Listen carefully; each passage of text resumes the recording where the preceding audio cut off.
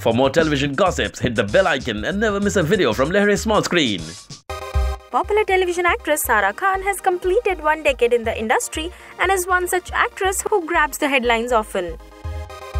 Sara has done a Pakistani serial and was making news for dating Pakistani actor Noor Hassan. Their social media posts were buzzing around like wildfire. But guys, Sara is no more in love with Noor now. Sara has found love in a businessman named Vishal Thapper. Yes, you heard it right.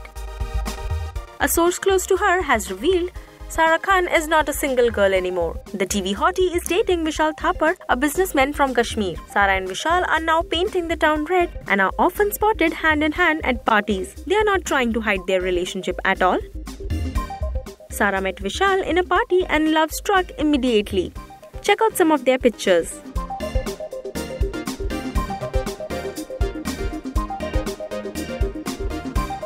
Well, now we wait for an official confirmation from this new couple. Guys, what do you have to say about this blooming love? Let us know by commenting below.